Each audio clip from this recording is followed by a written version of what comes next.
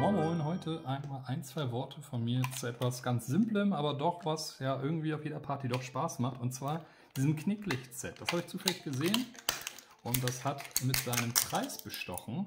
Die Frage ist, ob es tatsächlich auch das erfüllen kann, was man davon eben erwarten würde. Dafür öffnen wir das Ganze jetzt. Das wird jetzt einmal kurz ein bisschen lauter wahrscheinlich. So, das Ganze ist soweit geöffnet.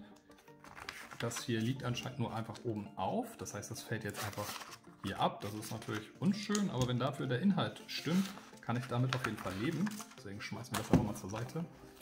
Und hier oben haben wir so eine Lasche, da können wir reingreifen. Das Ganze dann hier dann hoffentlich rausziehen. Ja, das funktioniert ganz einfach. Und hier drin haben wir dann ganz viele so kleine Stücke, mit denen man das Ganze zumachen kann, also Armbänder und Co. formen kann.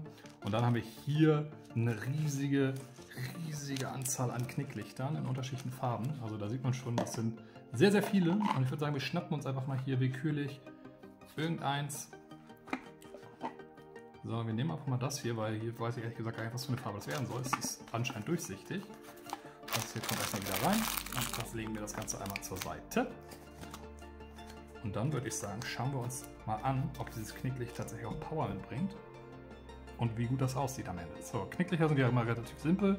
Ich kann es hier trotzdem ja mal vor der Kamera machen, einfach mit dem Geräuschsound. So, und wir sehen hier schon, okay, es ist ein blaues Knicklicht und da tut sich auch schon direkt was.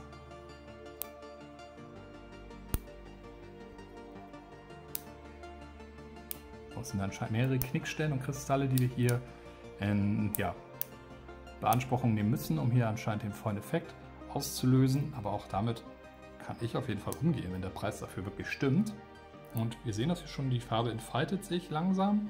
Und ich glaube, man sieht das auf der Kamera tatsächlich gar nicht so gut. Ich versuche hier nochmal ein bisschen nachzujustieren. Das ein bisschen zu verteilen. Das dauert ja auch immer ein bisschen. Und da muss ich gleich mal versuchen, irgendwie mit meiner Hand das Ganze ein bisschen dunkler zu machen. Wobei ich glaube, man sieht hier schon, das ist ein relativ intensives Blau tatsächlich. Und ich kann hier mal ein bisschen zumachen.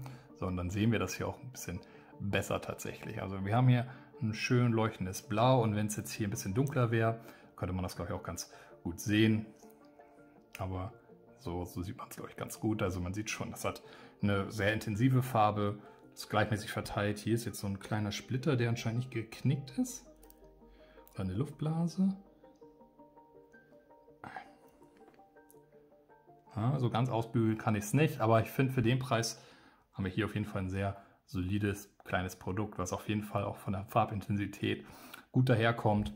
Und vor allem, wir haben halt wirklich sehr viele und sie versprechen eine Stunde mindestens durchzuhalten und dementsprechend auf jeden Fall ja, ein ganz solides Ding.